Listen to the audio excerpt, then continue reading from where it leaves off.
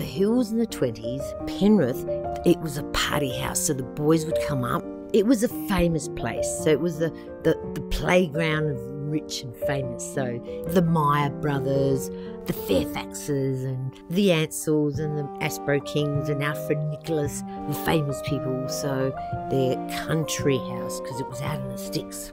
1920s, so you can imagine that that roaring 20s kind of style, and, you know, drinking and smoking and just having fun.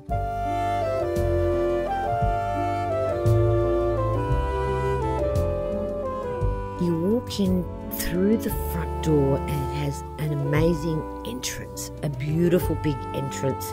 It's grand. Now let's go left. That's the master bedroom. It is massive.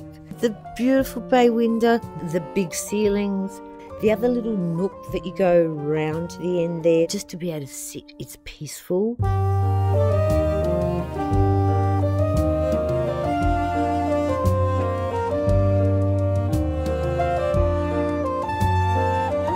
And then it opens up into a beautiful lounge dining area and it has picture windows all the way through and it's it's peaceful it's very cathartic. It's different every season. It is so different. It's so magic. Every balcony is just amazing. Sit on the balcony you've got your own table and chair um, view over to the pool and it's peaceful and it's quiet very quiet. Now the deck on the back absolutely a different view again with that sunken uh, lounge kind of area. Open the trifold wooden doors from the kitchen so it's inside out.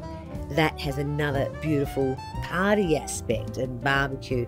Every balcony is just beautiful. I, I can't pick which balcony I love. I just can't pick.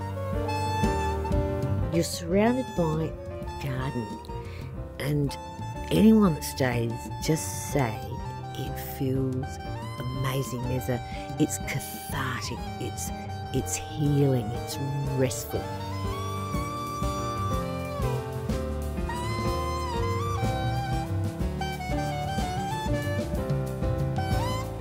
It is a treasure. It's rare.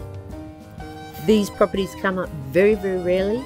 It is a property that is hard to let go, and the next person, they'll just walk in like I did and fall in love. That's it they will fall in love with it.